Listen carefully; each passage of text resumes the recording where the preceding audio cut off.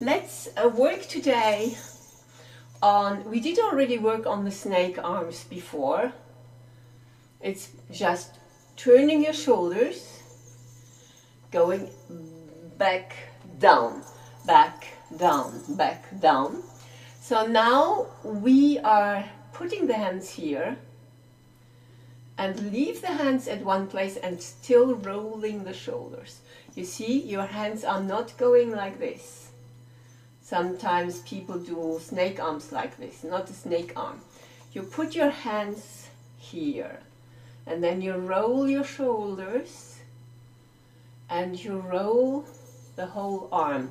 It's up, back, down, bend, bend, like this, yeah? Hop, hop, hop, hop. You are rolling with the shoulder the whole arm. This is the snake arms. So you want your hands to be kind of at the same spot. And you always open your solar plexus, you open your emotions and you open a little bit your head in front. And also what you always do, and I repeat this for the Orient, for every dance, but especially for our, uh, Oriental dance, you just don't want to, stay, to stand there if you're doing normal life you have to bend your um, hip a little bit forward. Bring the hip forward. Yes.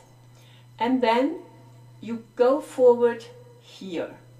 So you're not staying like this, you're staying a little bit forward, okay? Let me switch this here, okay? Good. So, um, these are the snake